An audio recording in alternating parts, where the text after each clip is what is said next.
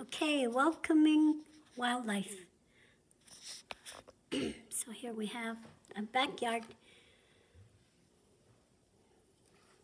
Backyards, schoolyards, parks and gardens are places where people and wildlife meet. Lots, lots of people are discovering ways to make these places even more inviting for wild creatures of all kinds. Look around your own community. You might see some of these wildlife friendly ideas catching on. Beautiful yard. Somebody um, did a lot of uh, work right here. Look at all that planting stuff. it's to welcome the the plants. They're doing all kinds of plants to welcome all kinds of creatures that will take up that area. People are really welcoming things like that.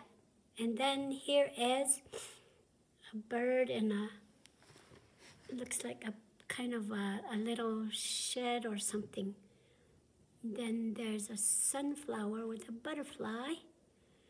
And right there with a bird and a mouse. so In many areas, bluebirds like this one have lost their homes, so, so have many other birds, including woodpeckers, nuthatches, and chickadees.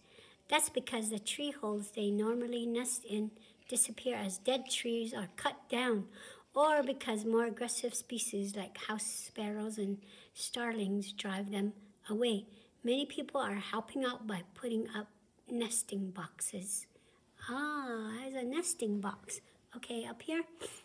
Um, gardeners are choosing flowers that suit the taste of birds and butterflies. This tall sunflower, for instance, offers nectar to a monarch butterfly as it blooms.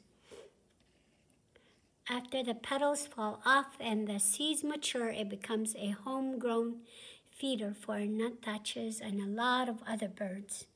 A shallow container con placed right on the ground makes a great watering hole for squirrels and other small mammals too. Okay, that's a squirrel. and then the last page, oh there, hold on. Okay, the last page. Whether your backyard is a big city park, a small country garden, or a grassy lot outside your school, it's your part of the natural world. It's yours to explore and it's close to home. Your background, your backyard is quite a place. You know, one time when we were, um, I had kindergartners, we were coming back from from our run. We used to have a 10 minute run after that, we were coming back right at the, you know, as soon as you enter close to the school, there was this long string of, um, of web, just one long one going down, spider web. And we saw many, many tiny, tiny um, spiders. That was so neat to see. We all walked around it and said, Wow, look at all the tiny spiders. They were really tiny. They were so, the kids called them cute. And they kept saying, wow, they've never seen anything like that. I never saw anything like that. So there are things that come around. Look at, um, there's a song sparrow nest right here. A song sparrow nest in blackberry bush. And do you see eggs in that? Looks like it, huh? Yep. So this was your book for science. It's called Life in Your Backyard. Okay?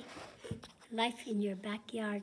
And look at all the things that you saw in this. Going back to it, we had at the beginning of the page, we had a a bird on top of a, a, a pole or something. And then right here, remember these creatures right here? Little tiny, some There's the worm being eaten by a robin. And there's a turtle under all those pretty flowers.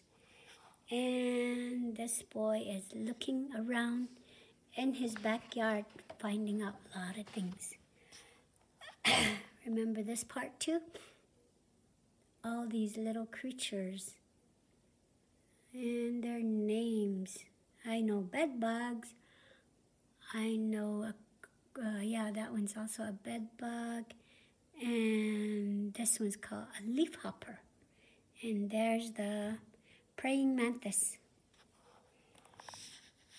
There's the bee and the plants that they can get their um, things from. The nectar. And as we continue on, there are some birds there. More birds. Wow, birds are pretty. Okay, more birds, a lot of birds, wow. All these beautiful birds. If you're a bird watcher like um, some people that I know, especially my husband, love looking at birds. He even buys bird seeds so that they can come to the yard. But there's a squirrel there, a gray squirrel. And there's a raccoon and uh, there's a crow. Lots of crows around too. And my husband and I used to call each other Nitleja. You know what that is? Is a ground squirrel. we used to call each other that because we love being out in the woods and just exploring, looking for, especially looking for things for me to make a cradle board and then we'd see squirrels here and there on the ground here and there. So since we were seeing that a lot, we gave them the name Nitleja, and then we call each other that. that was fun, walking around and just watching out for things. Then there are the tracks. Yeah, you so from the tracks you will know what kind of animal has been in your yard if there's snow on the ground or muddy and then there are some things that are left behind by them. Okay, on the leaf. And remember this one is a is, is a burrow. This thing right here is a burrow. Burrow. Okay. And this was where we were a while ago. Welcoming them. Making them feel at home. Doing other things too to catch their attention and they can come over. It's a welcoming thing to, to have them in your yard where you have stuff. Okay.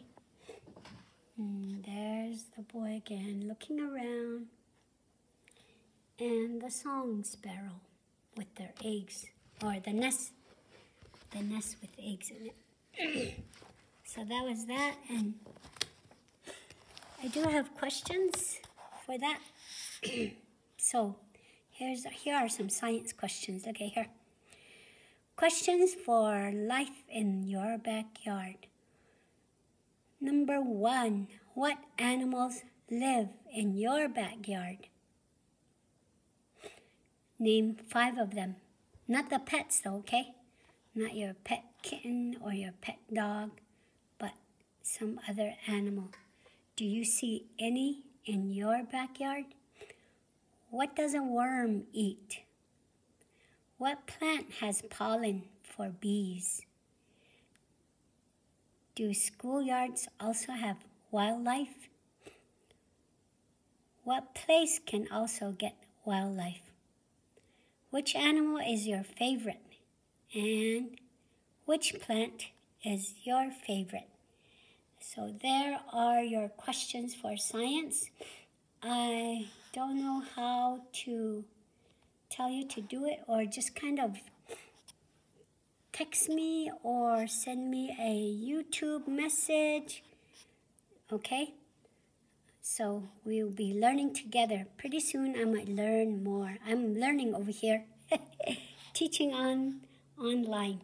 Thank you for listening today. This has been your science lesson from Mrs. Lewis. Again, I know anodzel.